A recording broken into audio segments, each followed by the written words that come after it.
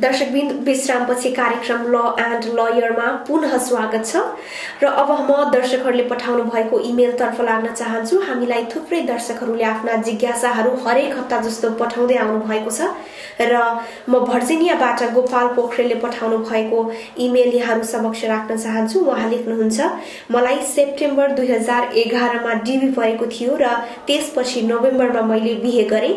म अमेरिका एक्लै आएको हुँ। मैले मेरो वाइफको लागि I one thirty petition file गर्न गएको छु। हाल मसँग सपोर्टिङ डकुमेन्ट म्यारेज सर्टिफिकेट मात्रै छ। के यति मात्रै प्रुफ काफी छ त? वा म्यारेज पिक्चर र भिडियो सिडी पनि गुड प्रुफ हुन सक्छ? र मेरो वाइफलाई अमेरिका ल्याउन कति समय लाग्छ? कृपया बताइदिनुहुन्छ कि। गोपालजी अब सेप्टेम्बर टु थाउजन्ड इलेभेनमा यहाँले चाहिँ यहाँ आएर अनि नोभेम्बर टु थाउजन्ड इलेभेनमा बिहा गरिसक्नु भयो भन्दाखेरि चाहिँ अब आई वान थर्टी भन्ने एप्लिकेसन चाहिँ ग्रिन कार्ड होल्डरले फाइल गर्न पाउँछ। र यहाँले चाहिँ त्यो एप्लिकेसन फाइल गर्दाखेरि चाहिँ त्यसमा चाहिँ म्यारिज सर्टिफिकेट यहाँले भनिहाल्नु त्यो चाहिँ अवश्य चाहिन्छ। त्यसपछि चाहिँ अर्को एउटा फर्म पनि चाहिन्छ दुवैजनाले भर्नुपर्ने। त्यो फर्मको नाम चाहिँ G three twenty five A भन्ने एउटा फर्म हुन्छ। त्यो फर्म चाहिँ यहाँले फिलआउट गर्नुपर्छ र यहाँको श्रीमतीले पनि त्यो फर्म चाहिँ फिलआउट गर्नुपर्छ। त्यो बायोग्राफिक फर्म हो। युएससिआइएस डट जिओभीमा जानुभयो भने त्यो फर्मको लिस्टमा त हेर्नुभयो भने G dash three twenty five A भन्ने फर्म त्यहाँ छ तपाईँले त्यो फर्म चाहिँ डाउनलोड गरेर त्यसलाई चाहिँ भरेर तपाईँले चाहिँ अनि त्यो आई वान थर्टी पिटिसन र म्यारिज सर्टिफिकेटको सँगसँगै अनि दुईवटा चाहिँ पासपोर्ट साइजको फोटो यहाँको र दुईवटा पासपोर्ट साइजको फोटो यहाँको मिसेजको समेत त्यसमा इन्क्लुड गरेर अनि मिसेजको बर्थ सर्टिफिकेट पनि इन्क्लुड गरेर पठाउनु भयो भने त्यो केस चाहिँ एप्रुभ भएर आउँछ। हजुर। त्यसमा फाइलिङ फी पनि नबिर्सनु होला फेरि हामीलाई नाम खुलाउनु भएका छैन उहाँ लेख्नु भएको छ मेरो भाइ युएस सिटिजनसिप हो र ऊ युएसमा बस्दै आएको छ। मैले भर्खरै नोटिस गरेँ सिस्टर अथवा दाजुभाइ जसले फाइल पिटिसन अप्लाई गरेको थियो अप्रुभ भयो रे। मेरो जिज्ञासा के छ भने कति वर्ष वा महिना इन महिनापछि अब इन्टरभ्यूको लागि वेट गर्नुपर्छ के धेरै समय वेट गर्नुपर्छ र अब यो भिजा वेटिङ पिरियडमा चाहिँ के छ भने क्याटेगोरी छ वान टू थ्री फोर भन्ने। अब त्यो नम्बर वान टू थ्री अब अघि मैले भनेअनुसार चाहिँ हाम्रो गोपालजीको चाहिँ मिसेसको चाहिँ वेटिङ पिरियड चाहिँ कम हुन्छ किनभने त्यसमा चाहिँ धेरै नम्बर धेरै भिजा नम्बरहरू एभाइलेबल हुन्छ। अहिले अक्टोबर टु थाउजन्ड नाइनको चलिरहेको छ भने उहाँको दुई वर्षको वेट देखिन्छ त्यहाँ। दुई तिन वर्ष भन्नु पऱ्यो भन्दाखेरि अब अहिले चाहिँ के भने ब्रदर्स एन्ड सिस्टरको चाहिँ के भन्दाखेरि फोर्थ प्रिफरेन्समा आउँछ त्यसको चाहिँ वेटिङ पिरियड चाहिँ अहिले टु थाउजन्ड भन्दाखेरि अलमोस्ट दस बाह्र वर्षको चाहिँ वेटिङ पिरियड छ यहाँको चाहिँ आई वान थर्टी एप्रुभ भए पनि अब एप्रुभलाई चाहिँ त्यो डकुमेन्टलाई यहाँले चाहिँ राम्रोसँग चाहिँ स्याहार राख्नु पऱ्यो अब अर्को दस वर्षसम्मलाई त्यसपछि अनि त्यहाँबाट यहाँको दाजुभाइ दिदीबहिनीहरूको को को एप्लाई गर्नुभएको छ उहाँहरूको चान्स आउँछ हजुर त्यसो भए दस वर्ष वेट गर्नुपर्छ अन्त ब्रदर्स एन्ड सिस्टरलाई चाहिँ त्यो लङ वेटिङ टाइम छ हजुर। अनि त्यसै गरी मानव श्रेष्ठ उहाँले आफ्ना जिज्ञासा राख्नुहुन्छ म युएस सिटिजनसँग बिहे गर्दैछु त्यसपछि नेपाल गएर ग्रिन कार्ड अप्लाई गर्दैछु। नेपालबाट फाइल गर्दा अथवा युएसमै बसेर फाइल गर्दा के प्रोसिडर फरक हुन्छ त? केही कम्प्लिकेसन त हुँदैन? अब एच वान भिजा अथवा उहाँको भिजा के छ यहाँ अमेरिकामा? है इलिगल हुनुहुन्छ भने फेरि एक वर्षभन्दा बढी चाहिँ बस्नु भएको छ भने त्यही अघि मैले भने जस्तो ओबामाको वेबर लिएर जानु भएन भने दस वर्षमा फर्किन पाउनुहुन्न। त्यस कारणले के भन्दाखेरि यदि युएस सिटिजनसँग बिहा गर्नुभएको छ र नेपाल फर्किनुभन्दा अगाडि चाहिँ इलिगल यहाँ अमेरिका हुनुहुन्न भने नेपालमा गएर अनि ग्रिन कार्ड लिएर आउनु सक्नुहुन्छ। त्यसको प्रोसेस चाहिँ के भने यहाँको मिस्टेजले चाहिँ के भने आई वान थर्टी भन्ने एप्लिकेसन भरेर नेपाल एमबिसीमा इन्टरभ्यूको लागि चाहिँ document national visa center through पठाउनुपर्छ। त्यसको प्रोसेस चाहिँ त्यही नै हो। यसको छ महिनादेखि चाहिँ आठ महिनाको टाइममा चाहिँ अब यहाँ आउन सक्नुहुन्छ। यदि चाहिँ त्यो यहाँको चाहिँ स्टाटस इलिगल भइसकेको छ अमेरिका भने कि चाहिँ ओबामाको चाहिँ यो वेबर प्रोभिजनको चाहिँ अब अहिले सुरु भएको छैन त्यो भइसकेपछि त्यो लिएर चाहिँ नेपाल गएर चाहिँ आउन सक्नुहुन्छ ग्रिन कार्ड लिएर। नभए भने यहाँ नै ग्रिन कार्ड एप्लाई गरेर अनि यिनै ग्रिन कार्ड पाएपछि चाहिँ अनि नेपाल फर्केको बेस्ट हजुर। हामीलाई एस वान बी भिजाका सम्बन्धमा टेक्सासबाट निभाले आफ्ना जिज्ञासा राख्नु भएको छ। म एस वान बी भिजाको रेसिडेन्ट फिजिसियन हुँ। रेसिडेन्सी कम्प्लिट चाँडै गर्दैछु। मसँग इम्प्लोइमेन्ट अथोराइजेसन डकुमेन्ट पनि छ। मेरो हस्बेन्ड हस्बेन्डले कम्पनीको थ्रुबाट ग्रिन कार्ड अप्लाई गर्नुभएको छ। त्यसपछि केही पनि प्रोग्रेस भएको छैन र हाम्रो इभी थ्री नम्बर करेन्ट छैन र मैले एस वान बी रिन्यू गरेको छैन। के मैले आफ्नै एप्लिकेसन फाइल गरेँ भने ग्रिन कार्ड चाँडै पाउन सक्छु अथवा हस्बेन्ड वाइफको एप्लिकेसन सेपरेट भयो भने इफेक्ट पर्छ कि पर्दैन? इफेक्ट चाहिँ हस्बेन्ड र वाइफको एप्लिकेसन सेपरेट भएर इफेक्ट पर्दैन। अब यदि यहाँले चाहिँ चाँडै चाहिँ चाँडै चाहिँ ग्रिन कार्ड पाउनु हुनुभयो भने हस्बेन्डले पनि त यहाँको डिपेन्डेन्ट भएर पाउनुहुन्छ। अब अहिले चाहिँ के भने इभी थ्रीको चाहिँ के भने ब्याकलगले गर्दाखेरि यहाँको वेटिङ पिरियड लामो भएको हुनाले एच वान चाहिँ तुरन्त रिन्यू चाहिँ गरिहाल्नुहोस्। किनभने फेरि आउट अफ स्टाटस हुनुहुन्छ। र अब अर्को चाहिँ यहाँले चाहिँ आफूले अब ग्रिन कार्डको लागि एप्लाई गर्ने कि नगर्ने भन्ने कुराको विषयमा चाहिँ अब यहाँले चाहिँ के भने फिजिसियनको हिसाब किताबले एप्लाई गर्दाखेरि त्यसलाई चाहिँ मास्टर डिग्रीको चाहिँ के भन्दाखेरि क्याटेगोरीमा लिएर जान सकिन्छ। त्यसबाट ट्राई गर्नु भने यहाँको भिजा करेन्ट छ वेटिङ पिरियड चाहिँ हुँदैन। त्यस कारणले लेबर सर्टिफिकेसन तुरन्त गर्न सक्नुभयो भने चाहिँ त्यसबाट चाँडै हुने सम्भावना छ। हजुर त्यसै गरी राज लन्डनबाट हामीलाई राज लेख्नुहुन्छ। म अमेरिकादेखि बाहिर बस्छु र म फार्मास्युटिकल फिल्डमा इन्भेस्ट गरेको छु र जसबाट मैले आठवटा अन्तर्राष्ट्रिय र राष्ट्रिय अवार्ड पनि हात पारिसकेको छु।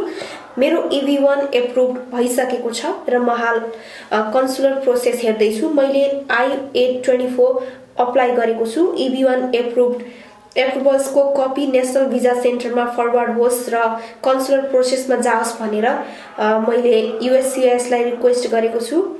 अब कति समय लाग्छ मैले ग्रिन कार्ड पाउन र युएसमा बसोबास सुरु गर्न? अब यहाँको के छ भने अब इबी केस एप्रुभ भयो यहाँलाई बधाई छ तर अब यहाँको अब्सटाकल के भन्दाखेरि आई एट टू फोर पठाइसकेपछि नेसनल भिजा सेन्टरले यहाँलाई चाहिँ भिजा फी र डकुमेन्टेसनको रिक्वायरमेन्ट पठाउँछ। त्यो कम्प्लिट भइसकेपछि अनि अर्को दुई तिन महिनामा चाहिँ अमेरिकन एम्बेसीले यहाँलाई इन्टरभ्यूको लागि बोलाउँछ। र यहाँको चाहिँ सम्पूर्ण फेरि चाहिँ अहिले सब्मिट गरेको सम्पूर्ण क्रिडेन्सियलहरू डकुमेन्टेसनहरू फेरि पनि डबल चेकिङ हुन्छ अमेरिकन एम्बेसीमा र त्यसमा चाहिँ के भने यहाँको चाहिँ मोस्ट इम्पोर्टेन्ट फ्याक्टर के छ भन्दाखेरि चाहिँ अमेरिकामा आएर पनि त्यही आफ्नै फिल्डमा त्यही फिल्डमा चाहिँ आफूले काम गर्छु भन्ने कुरो यहाँले चाहिँ के प्रुभ गर्नुपर्छ र यदि अमेरिकन एम्बेसीले त्यो कुराको चाहिँ के भन्दाखेरि चाहिँ सेटिस्फ्याक्सनमा चाहिँ के भने डकुमेन्टेसन र आफ्नो चाहिँ सबै कुराहरू गर्न सक्नु भएन भने चाहिँ उहाँलाई चाहिँ के भने त्यसमा अलिकति प्रब्लम हुनसक्छ। तर चाहिँ के भने युजली यस्तो केसमा प्रब्लम चाहिँ हुनु हुँदैन तर चाहिँ I wish you good luck हजुर। त्यसै गरी न्युयोर्कबाट विनम कर्मचारी लेख्नुहुन्छ। मैले हालै विवाह गरेँ। मेरो वाइफ एफ वान स्ट्याटसमा छ र उनको एमबिए डिसेम्बरमा कम्प्लिट भयो र प्र्याक्टिकल ट्रेनिङ फेब्रुअरीसम्म छ। सबैभन्दा राम्रो उपाय के हुन सक्छ उनको स्ट्याटस चेन्ज गर्न? यदि मैले आई वान थर्टी फाइलिङ गरेँ भने कति समय लाग्छ अथवा मैले एडजस्टमेन्ट स्ट्याटस फाइल गर्न सक्छु कि सक्दिनँ? यदि एडजस्टमेन्ट अफ स्ट्याटस अप्रुभ भयो भने उनी आई वान थर्टी अप्रुभ हुँदासम्म बस्न सक्छन् कि सक्दिनन् युएसएमा? एडजस्टमेन्ट स्टाटस एप्रुभ भन्ने र आई वान थर्टी भन्ने कुरामा यसलाई अलिक कन्फ्युजन भएर रहेछ एडजस्टमेन्ट स्टाटस एप्रुभ भन्ने बित्तिकै ग्रिन कार्ड पाउने स्थिति हो त्यसले गर्दाखेरि के भने आई वान थर्टी भनेको त्यो सबभन्दा अगाडिको स्टेजमा चाहिँ फाइल गर्ने एप्लिकेसनलाई मानिन्छ अब यहाँको चाहिँ आफ्नो स्टाटसको बारेमा चाहिँ यहाँले भन्नु भएन यदि यहाँ चाहिँ युएस सिटिजन हो भने चाहिँ यहाँले सिधै नै आई वान थर्टी र I four eighty five file गरेर एडजस्टमेन्ट स्टाटसको एप्लिकेसन समेत दुइटा राखेर चाहिँ एकैचोटि पठाइदिनुहोस्। उहाँको चाहिँ के भने वर्क पर्मिट पनि आउँछ तिन महिनामा त्यसपछि उहाँको इन्टरभ्यू पछि चाहिँ अनि ग्रिन कार्ड पाउनुहुन्छ विदिन सिक्स टु एट मन्थमा त्योलाई एडजस्टमेन्ट स्टाटस कम्प्लिसन भनिन्छ त्यसलाई। अब चाहिँ के छ भने यहाँ ग्रिन कार्ड होल्डर हुनुहुन्छ भने त्यहाँ प्रब्लम के छ भन्दाखेरि अहिले चाहिँ अक्टोबर टु थाउजन्ड नाइनको चाहिँ ग्रिन कार्ड होल्डरको केस प्रोसेसिङ भएको हुनाले यहाँको मिसेज चाहिँ के भन्दाखेरि बिचमा इलिगल हुनुभयो भने चाहिँ प्रब्लम हुन्छ। किनभने त्यो भिजा एभाइलेबलको टाइमसम्म चाहिँ उहाँले चाहिँ आफ्नो भिजा स्टाटस चाहिँ कन्टिन्यू गर्नु एकदम जरुरी छ। कि नत्र भने फेरि आउट अफ स्टार्ट हुनुभयो भने अब अर्को अल्टरनेट चाहिँ आफू सिटिजन भएपछि चाहिँ मात्रै उहाँले चाहिँ ग्रिन कार्डको इन्टरभ्यू यहाँ पाउन सक्ने स्थिति देखिन्छ। त्यसले गर्दाखेरि चाहिँ अब त्यो टाइम वाइज तपाईँको के सिचुएसन छ क्यालकुलेट गर्नु होला कति समय लाग्छ एफन स्ट्याटसमा रहँदा र स्ट्याटस चेन्ज गर्दा अब? अब त्यही अब ग्रिन कार्ड होल्डर भयो भने त अब चाहिँ जबसम्म भिजा एभाइलेबल हुँदैन आई वान थर्टी फाइल गरेको डेटबाट त्यति बेलासम्म त एफ वान कन्टिन्यू गर्नै पर्यो नत्र भने आउट अफ स्टार्ट हुन्छ। अब त्यो होइन सिटिजनको मिसेज हो भने उहाँले चाहिँ इमिडिएटली एनी टाइम फाइल गर्न सक्नुहुन्छ र इमिडिएट चेन्ज अफ स्टाटसको लागि अब any time as soon as you're ready file गर्न सक्नुहुन्छ। हजुर। आई भिसाको यहाँनिर प्रसङ्ग जोड्न चाहन्छु आई भिजा कति समयको लागि दिइन्छ? आई भिजाको कुनै लिमिटेसन हुँदैन अहिले मैले त्यही भन्न लागिरहेको थिएँ डिएस भनेको डुरिङ द स्टाटस अब कोही यहाँ विद्यार्थी चाहिँ पढ्न आयो भने पनि कलेजमा चाहिँ अब कति वर्षमा उसले चाहिँ कलेज सिद्धाउने भन्ने कुरा कुनै डेफिनेट आइडिया छैन। उसले चार वर्ष पनि पढ्न सक्छ उसले पिएचडीमा इनरोल गऱ्यो भने अर्को पाँच वर्ष नौ वर्षसम्म त्यत्तिकै एफओनमा बसिरहन सक्छ। त्यसले गर्दाखेरि के भने देयर इज नो सर्ट यदि टाइम लिमिट भन्ने छैन। त्यसले गर्दाखेरि त्यही भएर नि डुरेसन अफ स्टाटस भनेको एज लङ एज के भने यहाँको यहाँको चाहिँ तर्फबाट चाहिँ कि मैले फुल टाइम कलेज एटेन्ड गरिराखेको छु। जुन किसिमको चाहिँ कलेजमा जहाँ चाहिँ आई ट्वेन्टी एप्रुभ भएको छ त्यसैमा म पढिराखेको छु। इलिगल्ली मैले काम गरेको छैन। भन्ने किसिमको प्रुभ गर्नुभयो भने यहाँको चाहिँ भिजा चाहिँ डिएसले नै यसलाई डुरिङ द स्टाटस मानिन्छ भनेपछि कन्टिन्यू भइरहेको मानिन्छ त्यस्तै गरेर आई भिजाको पनि त्यही नै हो डिएस हो डिएसको मतलब के भने एज लङ एज के भने यहाँले चाहिँ आफ्नो फरेन चाहिँ के भने जुन जर्नलिजम सम्बन्धी जुन कम्पनी हो त्यो कम्पनीमा उहाँले चाहिँ कन्टिन्यू काम गर्ने यहाँबाट रिपोर्टिङ गर्ने कामहरू गरिन्छ भने त्यो चाहिँ के भने त्यो कन्टिन्यू भइरहन्छ यदि नेपाल जाँदा बित्तिकै फेरि आउन सकिन्छ कि सकिन्न? त्यसमा यहाँको त्यसमा चाहिँ यहाँको मल्टिपल एन्ट्री छ भने यु क्यान कम ब्याक तर छैन भने फेरि नयाँ भिजा अप्लाई गर्नुपर्छ। अनि नेपालमा जो व्यक्ति नेपालमा छ र उसले युएसको टेलिभिजन सेक्टरलाई रिपोर्टिङ गरिरहेछ भने त्यो व्यक्तिले अप्लाई गर्न सक्छ कि सक्दैन? त्योले पनि अब अमेरिकामा आएर आफूले त्यही प्रोफेसनमा इन्गेज हुने भन्ने किसिमको चाहिँ उहाँको चाहिँ त्यो प्रोजेक्ट हुनु पर्यो। हजुर यसमा त्यो लिमिटेसन भन्ने केही त्यस्तो लिमिटेसन छैन। Unlimited unlimited as long as you're working त्यही फरेन कम्पनीमा काम गरिरहनु छ भने यहाँ बसेर त्यसलाई चाहिँ डुइङ द स्टाटस कन्टिन्यू मानिन्छ। के कस्तो खालको बेनिफिट छ त यो भिजामा यो बेनिफिट त अब फरेन कम्पनीको इम्प्लोइ हो अब अमेरिका अमेरिकन कम्पनीको इम्प्लोइ होइन त्यसले गर्दा यहाँ अनुसारको चाहिँ अब रिपोर्टरले पाउने तलबहरू सुविधाहरू चाहिँ पाउनुहुन्न। अब नेपालको चाहिँ अब कम्पनीले फर इक्जाम्पल चाहिँ यहाँ अमेरिका रिपोर्टर पठायो भने नेपालको हिसाब किताबले पैसा दिन्छन्। अब त्यसमा पनि अब के भने अब रिपोर्टिङको कुराहरू पनि त्यही अनुसारले चाहिँ यहाँ बसेर काम गर्नु पऱ्यो त्यसले गर्दाखेरि अब फरक चाहिँ अब त्यही हो। यसमा बाहिर गएर चाहिँ कुनै पनि अरू इम्प्लोइमेन्टहरू चाहिँ लिन चाहिँ गाह्रो पर्छ।